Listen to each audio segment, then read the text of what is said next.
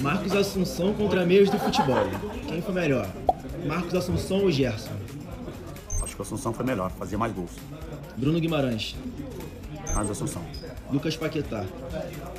Acho que o Paquetá ele joga um pouquinho adiantado, né? Ele não joga como um segundo volante, né? Eu acho que são posições diferentes. Joelinton.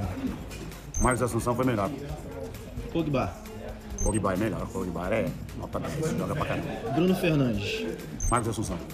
Vidal. Vidal, é, eu falo assim que foi- são, são posições diferentes também, porque o Vidal fazia sempre, ele faz o primeiro volante. Marcos Assunção sempre jogou como um segundo volante, chegando mais na área para fazer gol. Modric. Modric, também uma posição diferente, por mais que ele joga. Para mim, o Modric, o Modric é um um meio atacante, então é- é- ele é melhor. De Bruyne. Joga mais, joga, joga. Esse sim é um segundo volante, mais como meia também, mais chegando, mas joga pra caramba também.